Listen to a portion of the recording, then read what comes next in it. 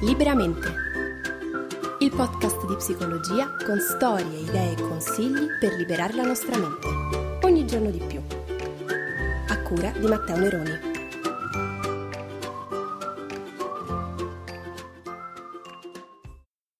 Un saluto a tutti da Matteo Neroni e bentornati in una nuova puntata del podcast Liberamente, il podcast che ogni settimana intraprende un nuovo viaggio all'interno del meraviglioso mondo della psicologia e della crescita personale. Ogni estate che si rispetti, si sa, ha il suo tormentone e fino a pochi anni fa era solo un tormentone musicale, ma con l'avvento di internet e l'inizio dell'era digitale, ogni anno esce fuori anche una nuova moda, una nuova tendenza virtuale e se il tormentone musicale di quest'anno. A me è ancora sconosciuto perché ragazzi non sono ancora riuscito a partire per le mie vacanze, una cosa alla quale ho intenzione assolutamente di rimediare al più presto, infatti questa, lo annuncio fin da subito, è la puntata dei saluti prima della pausa estiva, quindi eh, ci salutiamo qui e riprenderemo ad ascoltarci eh, verso la seconda metà di agosto. Ma per quanto riguarda la moda virtuale del momento, di quest'estate non ho assolutamente dubbi. Sto parlando ovviamente di FaceApp, in poche parole l'applicazione da smartphone che invecchia il viso umano e che ha praticamente spopolato nelle ultime settimane su tutti i social in assoluto. Ma cos'è che rende FaceApp così irresistibile? Cosa si nasconde dietro questa applicazione che sembra aver stregato il mondo intero con il suo effetto invecchiamento, quasi eh, così controintuitivo intuitivo rispetto al trend di tutte le applicazioni di editing dell'immagine che tendono invece a farci sembrare più belli e più giovani. Quali sono le leve psicologiche che utilizza FaceApp per costringerci ad utilizzarla anche se non vorremmo? Insomma, non perdiamo altro tempo ragazzi, entriamo nel cuore di questa puntata e scopriamo insieme che cos'è la FaceApp mania e perché invecchiare è diventato così virale. FaceApp, per chi la sentisse nominare per la prima volta, è il nome dell'applicazione russa lanciata a gennaio 2019, che utilizza l'intelligenza artificiale per elaborare le foto ed applicare particolari filtri al volto. Il più famoso è proprio quello per invecchiare le persone, ma ci sono anche tanti altri effetti per applicare magari trucco, cambiare colore o taglio di capelli, modificare l'espressione e perfino, pensate un po', anche cambiare sesso e su questo possiamo essere più o meno in accordo. Proprio il filtro però per l'invecchiamento è stato ultimamente aggiornato e migliorato in modo da restituire risultati ancora più vicini a quelli reali. In pratica per utilizzare FaceApp è sufficiente scaricarsi l'app sul telefonino, eh, scattarsi un selfie, una foto e vedere come saremo fra 30 anni.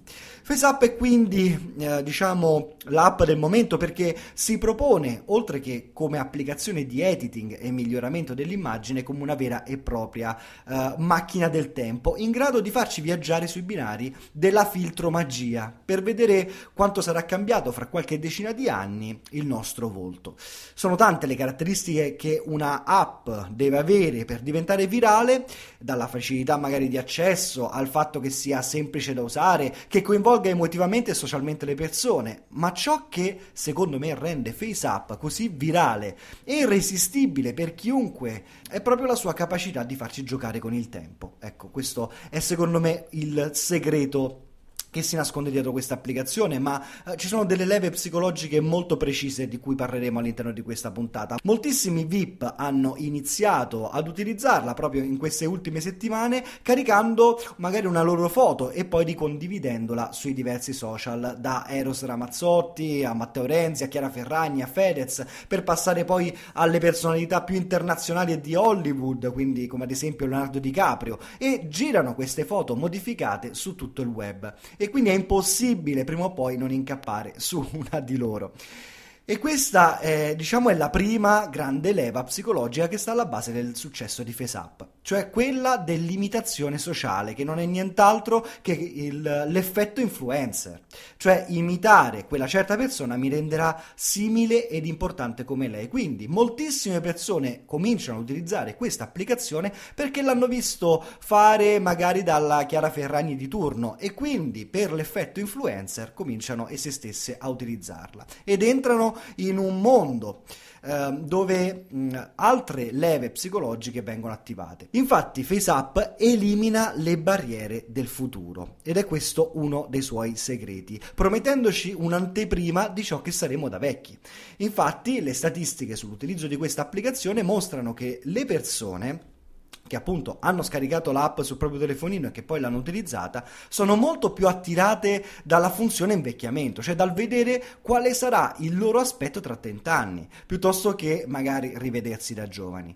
Questa è la seconda leva psicologica interessante sulla quale punta tantissimo FaceApp, cioè farci avere un'anteprima del nostro futuro, aumentando quindi la percezione del nostro controllo su di esso ci permette in poche parole uh, FaceApp di rispondere a una domanda che tutti quanti noi abbiamo dentro, e cioè chissà come sarò tra 30 anni, no, chissà come sarà cambiato e sarà evoluto il mio aspetto, come mi sarò trasformato o trasformata. Ecco, tra le insenature di queste domande, però, sono celate eh, ben più oscure paure che la semplice curiosità di come saremo. Il futuro infatti ci spaventa proprio per la sua imprevedibilità e tutti noi a livelli diversi vorremmo mettere mano sul tempo e vedere uh, cosa ci riserva il futuro e FaceApp intercetta proprio questo nostro umano desiderio e si inserisce tra le maglie delle nostre paure, proponendoci una visione di noi stessi del futuro. Il tutto diventa poi particolarmente irresistibile e quindi virale perché viene presentato come un gioco. FaceApp infatti sembra un gioco quasi da adolescenti eh, e viene spesso preso anche sotto gamba grazie alla sua interfaccia molto semplice, eh, non ci mette ostacoli al divertimento e quindi è un ottimo mh, mm, modo per trascorrere anche il tempo in maniera divertente con gli altri. E cosa c'è di meglio che un'app di questo tipo proprio durante il periodo estivo? Quindi è un attimo voler condividere con gli amici il risultato delle nostre foto e del nostro invecchiamento. Quindi FaceApp eh, sta avendo così tanto successo perché utilizza questa leva psicologica qui. Il mio e il tuo desiderio di controllare il destino e della paura che abbiamo delle imprevedibilità. Eh, di sapere eh, cosa accadrà in futuro, come sarò tra 30 anni. Sarò un vecchietto decrepito oppure eh, avrò conservato magari il mio sex appeal. Eh, e quando vediamo poi la nostra foto con qualche ruga in più, ma comunque bella patinata come ce la presenta FaceApp, ci sentiamo meglio, stiamo meglio con noi stessi, ci sentiamo rassicurati, stiamo in qualche modo in pace, ecco, con noi stessi. Quello di cui ti sto parlando è un'altra leva psicologica importante di questa applicazione, e cioè l'effetto Dorian Gray. Hai presente il celebre libro di Oscar Wilde, no? in cui il protagonista, eh, appunto Dorian Gray, è un giovane, un giovanissimo, molto bello, dall'aspetto estremamente affascinante, eh, che riceve appunto a un certo punto in dono l'eterna giovinezza e tutti gli effetti più nefasti dell'invecchiamento vengono impressi sulla tela dove è stato eh, dipinto il suo autoritratto. Ecco, questa applicazione riproduce questo stesso effetto, l'effetto Dorian Gray, cioè tu ti guardi vecchio nell'applicazione, che sarebbe appunto il dipinto, ma poi quando chiudi l'applicazione tu sei di nuovo giovane. Tu sei giovane e dunque ti apprezzi di più, ti piaci di più. Cioè, capiamoci bene, tu apri l'app e ti vedi vecchio, poi chiudi l'app e in qualche modo ti rincuori di essere giovane, perché ti riaccorgi di essere giovane e quindi eh, sei magari anche più contento di te stesso, ti apprezzi di più, ti piaci di più. Ecco, il VIP quando pubblica la sua foto sui vari social non la pubblica per dire guardate come sono figo da vecchio, ma quello che sta dicendo è guardate come sono giovane oggi, guardatemi come sono bello oggi. Appunto, l'effetto Dorian Gray è l'effetto per cui invecchio solo nell'applicazione e non all'esterno. Ecco, questa è una delle leve psicologiche, secondo me, più importanti e che stanno alla base del successo di questa app. Ti invito a scaricarla e ad utilizzarla, ti invito a giocarci anche un po', eh, a provarla questa emozione, no? Del, dell'invecchiamento, questo effetto Dorian Gray, altrimenti questo podcast è solo una chiacchierata tra me e il microfono. Provala invece questa applicazione e senti se quello che ti sto dicendo è vero oppure è una cazzata. Ecco, insomma, confrontiamoci su questo. In barba, come dicevo, a tutte le ideologie complottiste americane, di natura americana, perché essendo un'applicazione creata da un russo, in America ha spopolato e quindi si è creato questa sorta di effetto paranoico, per cui Putin e tutta la Russia stanno comprando i nostri dati, i dati di tutto il mondo. E allora a questo punto Cambridge Analytica, Facebook e tutte le altre multinazionali adesso uh, sono diventati i nostri paladini, i paladini della privacy. Ecco, vendiamo i nostri dati costantemente e continuamente, ma non nasce qui il problema sulla nostra privacy e sull'utilizzo che viene fatto dei nostri dati. Quindi provala, eh, provala adesso, appena avrai finito di ascoltare questo podcast e dimmi poi che cosa provi anche qui nei commenti del podcast, insomma, o dovunque vorrai, anche contattandomi su Telegram.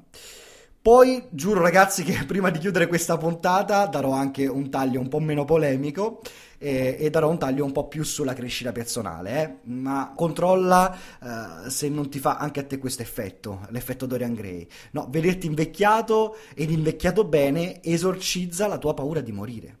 Cioè, non c'è niente da fare, ragazzi. In quanto esseri umani abbiamo paura della morte, abbiamo paura del tempo che scorre.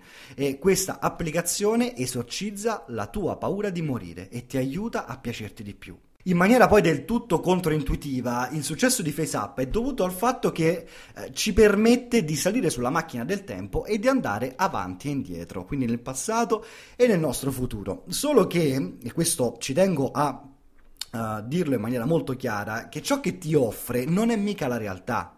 Ecco, le immagini che escono fuori da questo lavoro che viene fatto sulla nostra immagine, sul nostro selfie, eh, attraverso alcuni parametri ehm, facciali, ecco, è un risultato filtrato, non è l'esatto risultato uh, del trascorrere del tempo. Questa è l'ultima leva mentale che rende questa app così virale, l'effetto specchio magico. La modalità uh, ringiovamento e la modalità invecchiamento sono programmate per restituirti immagini migliorate di te.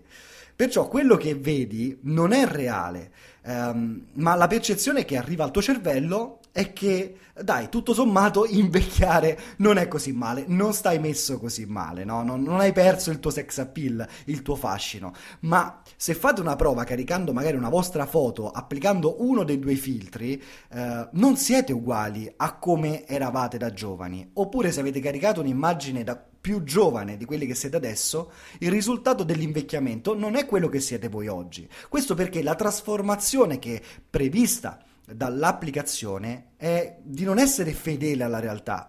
Uh, FaceApp non ha alcun interesse di darci un'immagine eh, realistica e imbruttita di noi stessi, ma anzi una immagine migliorata uh, di noi stessi. FaceApp è programmata per creare un'immagine abbastanza plausibile, nella quale magari possiamo riconoscerci, ma nello stesso tempo deve essere un'immagine migliorata rispetto alla realtà.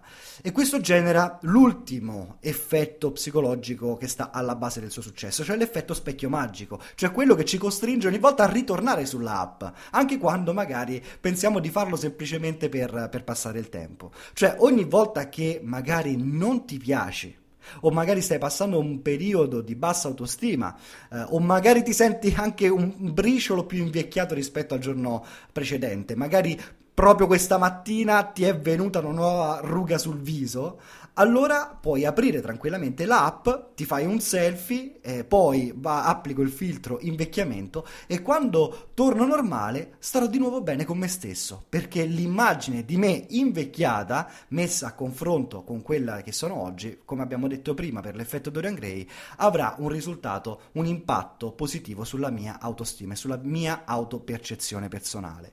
Perciò capite bene cosa c'è alla base di questa applicazione e soprattutto alla base del suo successo stesso, ma eh, ci tengo a precisare in quest'ultima parte del podcast, prima di salutarci per le vacanze, quindi non voglio rendere questo saluto uh, pesante, ci tengo a dire che la cosa più importante non è demonizzare la tecnologia, uh, piuttosto la cosa importante che voglio sottolineare è l'uso che ne facciamo. Ecco, l'uso che fai delle applicazioni che scarichi sul tuo smartphone è la cosa più importante, non è l'applicazione in sé. Uh, siamo fruitori consapevoli o inconsapevoli? Ecco, io spero che ascoltando questa puntata del podcast tu oggi possa utilizzare comunque FaceApp. Ecco, non è l'evitamento dell'applicazione uh, che ti renderà una persona più consapevole, perché sicuramente ti capiterà prima o poi di averci a che fare. Personalmente non sono quindi del tutto contrario a questa questa applicazione e, e soprattutto a, a, ciò che c'è alla sua base. Cioè io non sono contrario al fatto eh, che sia ciò che vogliamo diventare in futuro a guidarci nelle nostre scelte e nelle nostre decisioni che prendiamo oggi. Bensì sono contrario quando lasciamo che a dirci come diventeremo sia un algoritmo di un'applicazione Ecco, questo trovo assolutamente sbagliato, ma secondo me non c'è nulla di male ad avere una visione chiara di ciò che vogliamo essere, ciò che vogliamo diventare. Quindi trovo FaceApp un'applicazione divertente, no? complotti sulla privacy a parte, e che deve aiutarci e farci riflettere su chi vogliamo essere noi da grandi. Ecco, questa domanda è una domanda che puoi farti sia che hai 20 anni, sia che ne hai 30, 40, 50, 60. Ecco, non conta la tua età, è sempre una domanda utile che puoi farti in qualsiasi momento della tua vita. Cosa vuoi essere da grande? Chi vuoi diventare? Chi vuoi essere in futuro? Magari anziché uh, fare una proiezione su chi sarai nei prossimi 30 anni, come fa FaceApp, potresti magari pensare a che tipo di persona vorrei essere tra 3-4 anni. Ecco, che tipo di uomo, che tipo di donna vuoi essere fra 3 anni, fra 5 anni? Uh, quali competenze, quali sane abitudini, quale virtù vorresti aver coltivato durante questi 3 5 anni. Ecco, fare questo esercizio secondo me è un modo molto utile per ascoltare le paure sul futuro di cui abbiamo parlato anche prima, sulle quali si poggia questa applicazione, ma che non ci aiuta ad affrontare e quindi iniziare a fare una riflessione sana e coerente di ciò che vogliamo noi, prima di tutto, essere come persone nel futuro.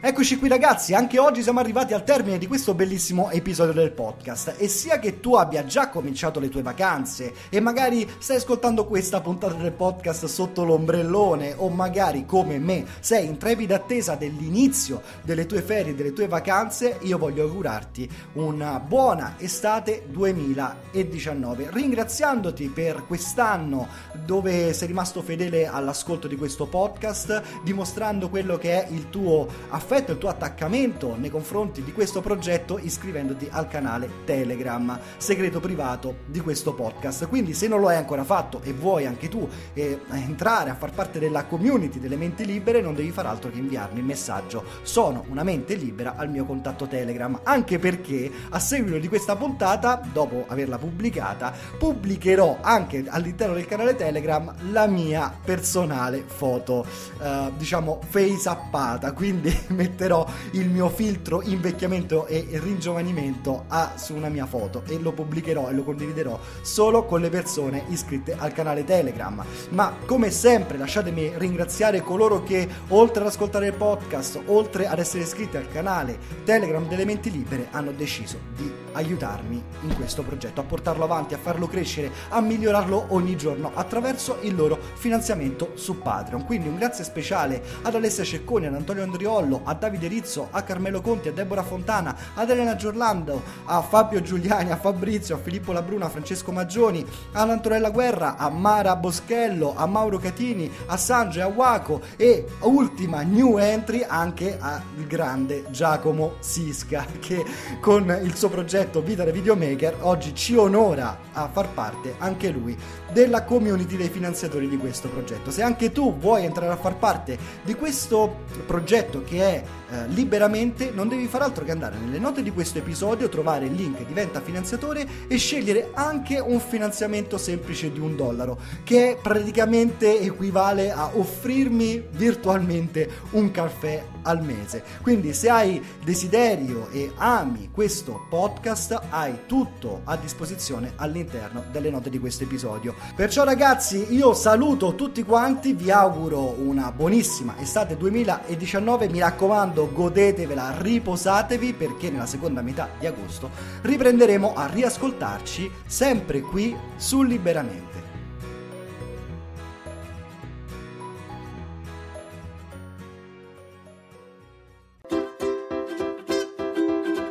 Liberamente.